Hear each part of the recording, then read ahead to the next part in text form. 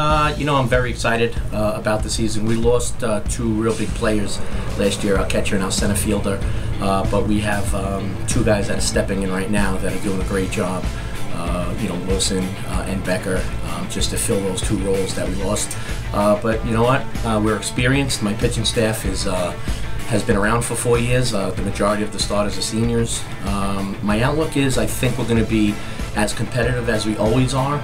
Um, I just think this year is a special group. Uh, they seem very close knit, very tight, uh, and that's important when you're trying to win, uh, you know, uh, ball games.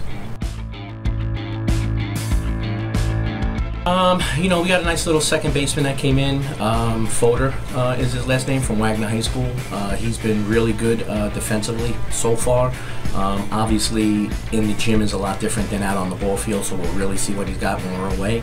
Uh, but I'm very excited right now about him. Uh, you know, just our, our, our main lineup from last year is all back. You know, so we have the eight other positions are all back. They've been on the team before uh, that are going to be starting. So uh, I just think uh, experience is really going to put us over the hump this year. I'm going to say, you know, Glenn Glenister, my left fielder, this is his fourth year. He's he's batted close to 350 every year. He's been Rookie of the Year, CUNY Player, um, uh, you know, first team All Star. Um, I really think that he's going to uh, do some good things this year.